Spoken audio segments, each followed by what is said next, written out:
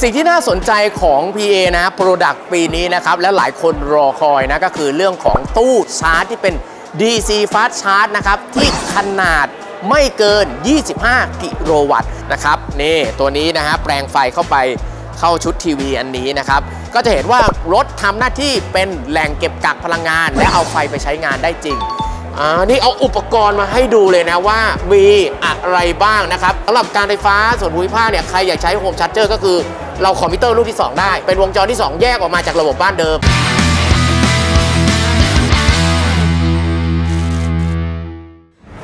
โยสวัสดีครับพวกผมเวลที่ช่อง Welldone Guarantee อย่างนี้นะครับ วันนี้นะครับผมอยู่ที่ PEA นครชัยศรีจังหวัดนครปฐมนะครับ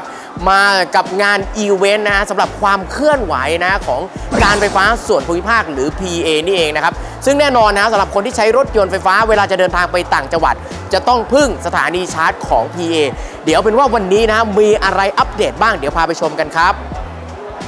สำหรับปีนี้นะครับ ทาง PA เนี่ยได้มีแผนว่าจะขยายสถานีชาร์จ โดยเฉพาะกลุ่มที่เป็น DC Fast Charge นะครับ โดยที่จะเพิ่มนะครับ จากเฟสหนึ่งนะครับ ตอนแรกมีระยะที่ 1 62 สถานีนะครับก็คือมีตามปั๊มน้ำมันบางจาก 56 สถานี การไฟฟ้าส่วนภูมิภาค 6 สถานีนะครับจะมีเฟส 2 เพิ่มขึ้นมาอีก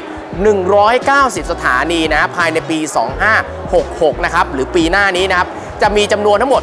263 สถานี และที่สำคัญนะครับ ตอนนี้ตู้ชาร์จนะของทาง PA เนี่ย ซึ่งจากเดิม 50 กิโลวัตต์นะครับ ตู้รุ่นใหม่ที่จะมาเนี่ย จะเป็นตู้ขนาด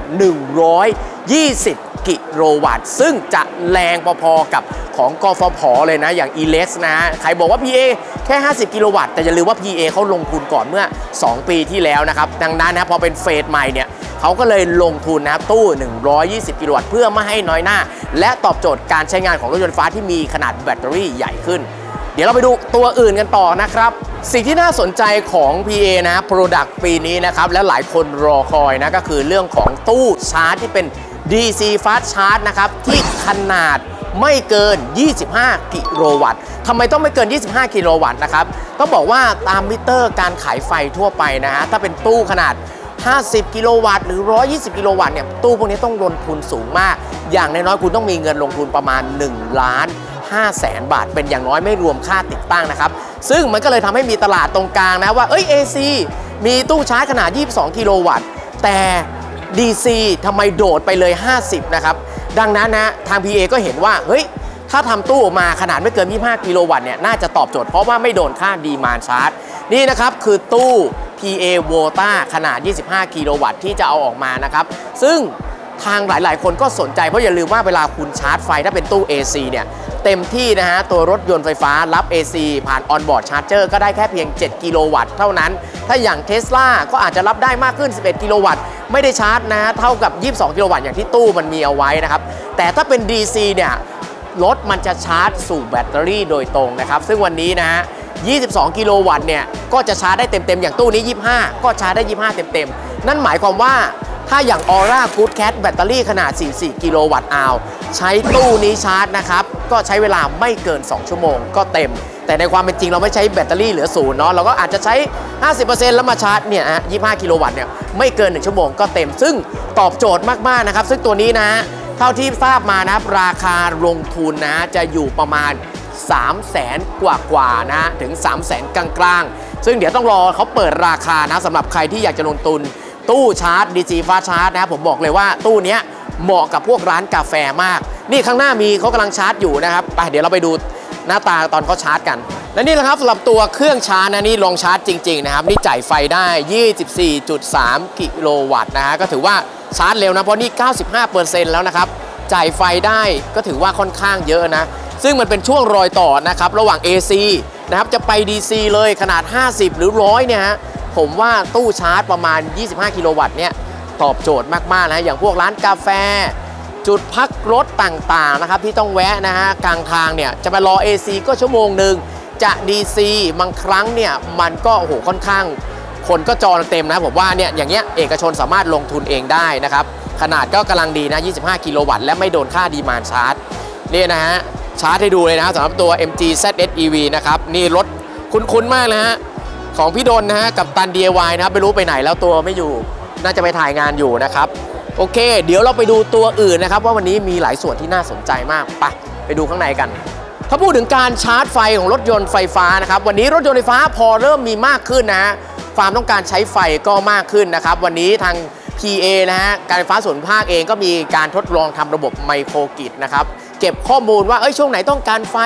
มากตรงไหนต้องการไฟน้อยนะครับ จะดีไหมว่าถ้าวันไหนที่ต้องการไฟมากเนี่ยคุณเอารถเนี่ยมาขายไฟนะ เอาไฟจากแบตเตอรี่ออกมาเข้ากับระบบนะฮะ และช่วงที่ไฟถูกนะครับ ก็เอามาไฟมาชาร์จรถนะฮะ หรือ vehicle to grid นะครับ และอีกอันหนึงนะที่มาพร้อมๆกันก็คือ vehicle to load อย่างนิสสันคันนี้นะครับนิสสันลีฟคันนี้เนี่ยก็คือเป็นการทดลองเอาไฟ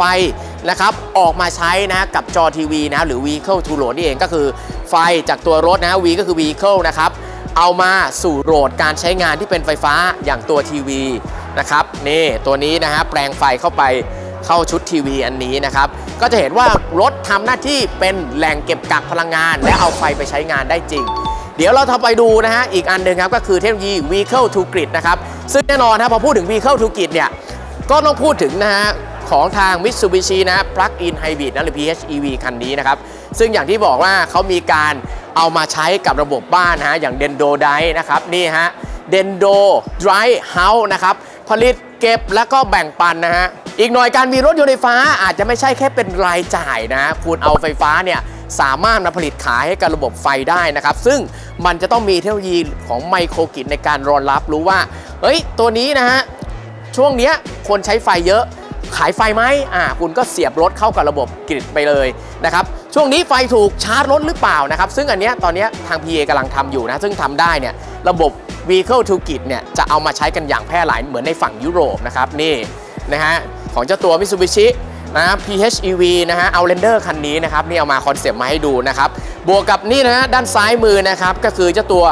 Mitsubishi ที่เป็นรถไฟฟ้านะ หรือตัว MIF นะฮะผมเรียก MIF นะหรือ MI IV นะ เรียก MIF ควบไปเลยนะครับ ซึ่งวันนี้นะเขาก็ได้เอามาลองทำตลาดคันนี้เป็น K car นะครับเป็น K car เนาะนะเอามาลองใช้กับทางไปรษณีย์นะครับวิ่งเส้นทางสั้นๆที่เป็นลูปนะฮะเพราะว่าเป็นเคคาวิ่งระยะทางได้ไม่ประมาณสัก 200 กว่าโลไม่เกินนี้นะครับนี่นะฮะก็คือเอามาโชว์ในงานเหมือนกันนะเป็นพันธมิตรของทาง PA ที่เอามาโชว์เรื่องของเทคโนโลยี Vehicle to Grid แล้วก็ Vehicle to Load เดี๋ยวเราไปดูส่วนอื่นนะฮะที่น่าสนใจกันต่อ อันนี้เรามาดู product ตัวหนึ่งนะครับของทาง PEA นะฮะก็คือเจ้าตัว PUPAPLUG เจ้า PUPAPLUG อธิบายหน่อยครับมันคืออะไรฮะ อ่า PUPAPLUG ครับเป็นเต้ารับสำหรับชาร์จรถไฟฟ้านะครับขนาด 3.7 กิโลวัตต์อ่าอ่าใช้ร่วมกับสายชาร์จ Emergency Charge ของที่มากับรถนะครับผมอ่า อ่าเหมาะสำหรับใช้ทำธุรกิจมีระบบคิดเงินให้ด้วย อ๋อมีระบบคิดเงิน ก็พูดง่ายๆก็คือไม่ต้องไปติดมิเตอร์ อ่า เอาระบบคิดเงินที่มันเป็น smart ใช่ เอามาผ่านปลั๊ก ใช่ถูกต้องครับอ่าสามารถคิดเงินได้เลยนะครับ โอ้โห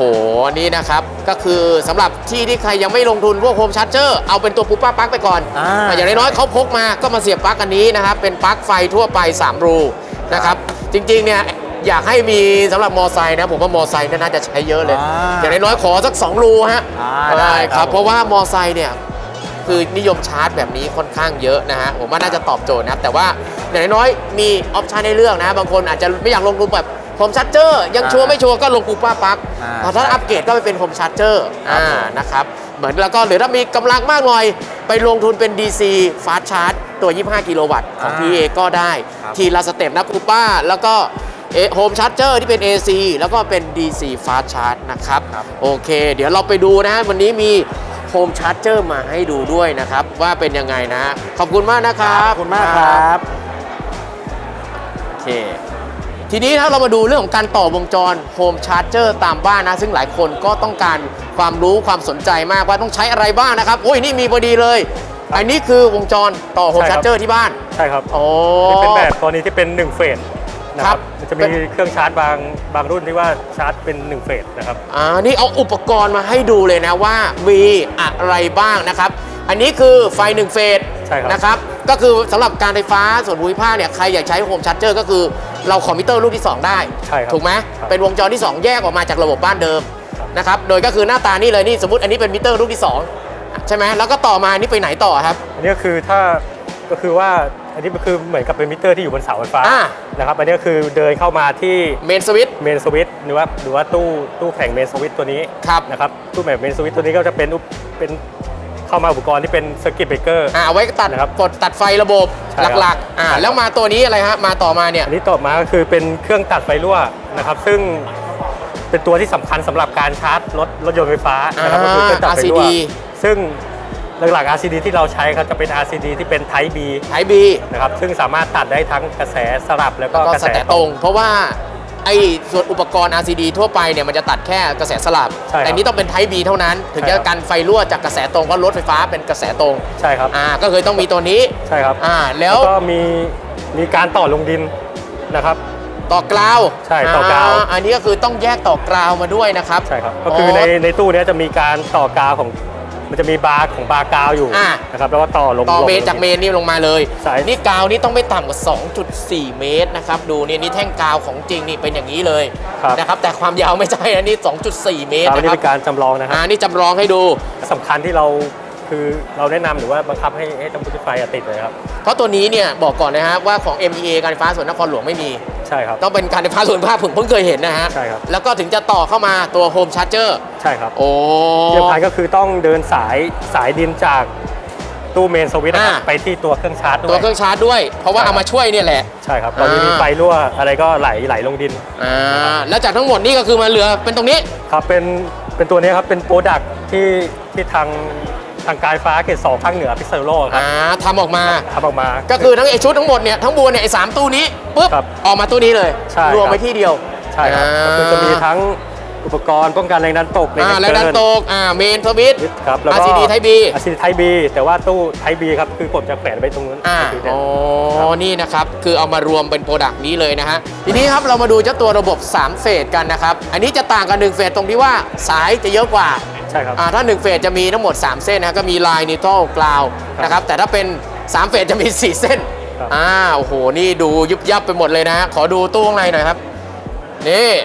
ต่อ main breaker นี้ต่อจริงๆนะฮะเข้ามา 3 นะครับ แล้วก็มี neutral มี ground โอ้โหครับนี่ต่อลงกาวนะครับ 2.4นะฮะแล้วก็มี RCD Type B เหมือนกัน ใช่ครับอะแล้วก็มีอุปกรณ์ป้องกันแรงดันตกป้องกันแรงดันตกแรงดันเกินนะครับ ซึ่งอันนี้ก็จะรวมมาเป็นตัวนี้ ใช่ครับ ก็คือรวมเซตมาใช่ครับเป็นตัว product นะครับ อ๋อ ของ PEA นะสำหรับไฟมี3เฟโปรสครับ โอ้ทีนี้เราจะดูได้ไงว่าจะควรใช้แบบไหนดีระหว่างแบบเฟสหนึ่งหรือ 3 เฟสดีอะครับ ครับ ก็คือดูว่าให้ดูให้มาคลิกดูที่รถนะครับดูอะว่าเราจะมี web application ตัวเนี้ยครับครับที่ที่อ๋อนี่สำรับใช่ไหมใช่ครับอ่าเป็นแอปพลิเคชันดูว่าเลือกยี่ห้อใช่ครับเลือกรุ่นได้เลยเอา BM ก่อนนะ BM BM นะครับเฮ้ยไม่ได้เอ้ยลองขอมีดิเผื่อมีเทสลามันต้องมีเทสลาเนี่ยสาวกครับนี่สาวกนะฮะกดเทสป้าลาแต่ว่าหลักๆก็คืออันที่สองเราจะเป็นเลือกเลือกของไอตัวยี่ห้อเคลูรื่กองยี่ชาห้ร์อจของเครื่องชาร์จนะครับอ่าซึ่งเทสลาส่วนใหญ่ที่ที่ดูก็คือว่าเขาจะมีเครื่องชาร์จที่ว่าเป็นแพ็กเกจอะแถมมากับตัวรถอะถ้าเป็นนะเทครัสบลาป้าบ แล้วก็แล้วก็มาเลือกรุ่นของตัวเทสลาอะของเครื่องชาร์จดูนะครับก็อ่าคืออันเนี้ยที่เราเก็บข้อมูลมีอยู่ 3 รุ่นไอ้สองครับรุ่นนะครับ อ่าก็จะมีก็คือ ของ Gen 3 Wall Connector อะนะครับกับ Wall Connector อ่านะเดี๋ยควรับลองเอาไอ้เจนตัวไหล่สามล่าสุดจะเป็น Gen 3นะครับอะแล้วลองดูดิกดลองกดกดค้นหานะครับอ๋อ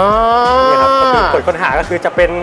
ขนาด 22 กิโลวัตต์อะแนะนำก็คือคุณติดต่อเป็นขนาด 22 กิโลวัตต์ใช่ครับกระแส32ครับ EV Pro 3 เฟสเซต B Set B ก็คือเป็นอันนี้ ใช่ครับ อ๋อราก็คาอันนี้ก็มีราคาโปรโมชั่นนะครับก็ประมาณนี้แล้วก็ราคาราคาปกติเท่าไหร่เออนะครับซึ่งผู้ใช้ไฟถ้าผู้ที่ใช้รถนะครับ ถ้าสามารถเลือกตัวนี้ได้นะครับครับก็สามารถได้เป็นผลิตภัณฑ์ของของ PEA ไปอ่าก็คือจะเป็นตัวนี้เลยเป็นเซต3เฟสนะครับแนะนำใช่ครับไปเลยนะครับเป็นชุดสำเร็จเพื่อใช่จะได้เข้าใจใช้ง่ายใช่ครับๆนะครับซึ่งผมมองเลยว่าอย่างส่วนตัวนะก็บอกว่าอย่าง PEA เองเนี่ยการที่เอามิเตอร์ ขอมิเตอร์ที่ 2 มาต่อสำหรับชาร์จรถในบ้านเนี่ยผมว่ามันเก็บข้อมูลได้ง่ายกว่า แถมเราไม่ต้องมีการบันทึกว่าเอ้ยคุณจะใช้ product อันไหนรถรุ่นอะไรในการขอมิเตอร์นะครับซึ่งอันนี้ผมว่ามันทำให้ข้อมูลแม่นยำในการในอนาคตเนี่ยอาจจะมีระบบ Vehicle to Grid ก็ได้ใช่ไหมใช่ครับเอาไฟจากรถไปเข้าระบบเนาะซึ่งอันนี้ผมว่าน่าสนใจมากๆนะสำหรับเจ้าตัว product อันนี้นะครับ และนี่คือระบบของเจ้าตัวระบบป้องกัน Home Charger ในบ้านนะครับ โอเค และในงานวันนี้นะครับต้องบอกว่ามีทางค่ายรถนะทั้งรถยนต์และมอเตอร์ไซค์นะครับมาร่วมงานด้วยนะครับ เพราะว่าส่วนหนึ่งนะฮะในการทำตู้เรื่องของสถานีชาร์จเนี่ยมันจะต้องมีความร่วมมือนะครับในการที่จะเอาตัวแอปพลิเคชันนะครับไป interface บนในตัวรถนะ ซึ่งตอนนี้ยังอยู่ในระหว่างการพัฒนานะครับระหว่าง PA เนาะเพราะว่าตอนนี้นะครับทาง PA ได้มีการร่วมมือกันนะครับในการโรมมิ่งข้อมูลกับสถานีชาร์จเจ้าอื่นๆนะฮะว่าอย่างน้อยเปิด PA ขึ้นมา คุณจะเห็นสถานีชาร์จอื่น ๆ ตามจุดอื่น ๆ ที่ไม่ใช่ของ PA ด้วยนะครับนี่ฮะอะเราไปดูของค่ายรถมากันนะฮะว่ามีค่ายรถอะไรกันบ้างนะครับ นี่นะฮะสตอมนะครับโอ้โหรถพิซซ่านี่บอกเราลองขับได้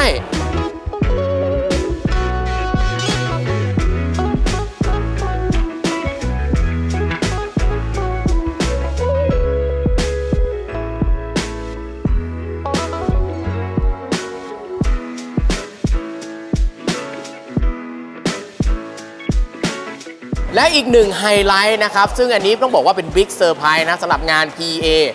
v o t a w o r d นะครับ ก็คือเรื่องของสถานีอัดประจุนะที่ต้องใช้เครื่องชาร์จแบบเร็วมาก ๆ นะ ขนาด 360 กิโลวัตต์นะ ซึ่งวันนี้ทาง PA เนี่ยมองว่าเรื่องของรถไฟฟ้าเชิงพาณิชย์อย่างพวกรถบรรทุกเนี่ยอันนี้ต้องใช้เครื่องชาร์จขนาดใหญ่ ก็ได้มีการลงทุนนะใน 4 จังหวัดนะครับ ทั้งฝั่งอ่าอีสานเองก็มีลงในโคราช ตะวันออกฝั่งระยองนะครับอ่าทางเหนือก็นครสวรรค์ทางฝั่งใต้ ก็เพชรบุรีเนาะซึ่งอันนี้เขาจะทำสถานีอัดประจุขนาดใหญ่สำหรับ